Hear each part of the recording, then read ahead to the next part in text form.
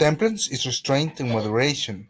The practice of temperance helps us to maintain harmony and balance in our daily lives by helping us avoid excesses that can lead us to an unhealthy life or to lose control of our lives through addictions and unhealthy attachment to people or things.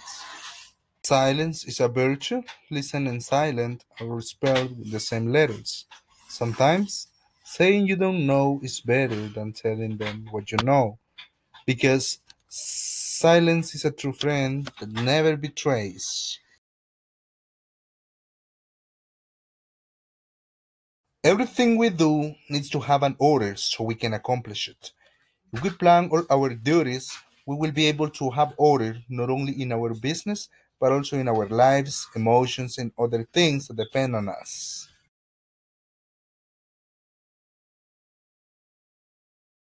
All the things we resolve need to have a happy and fair resolution, without having victims as a result of our decisions, because the way we judge, that's how we will be judged. We can be at the top today, but tomorrow is uncertain. If we plant good seeds today, we will collect good harvest tomorrow.